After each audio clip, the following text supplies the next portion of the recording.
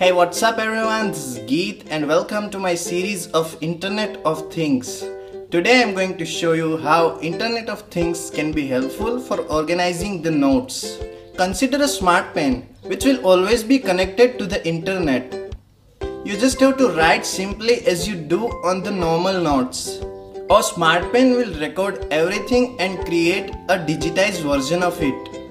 It will be synchronized with your note making account like Evernote, Pages, Google Keep or any other note making account. So write anything you want to. You can write a note, mark important things, draw the diagrams or make a chart.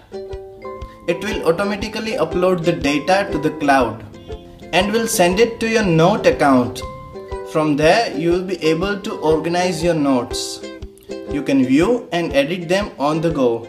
You can even access them from your smartphone, iPad, laptop, desktop or even from the smartwatch.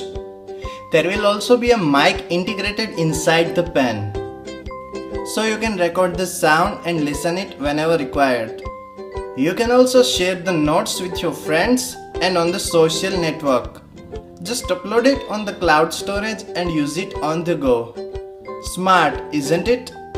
Stay tuned and subscribe for more videos.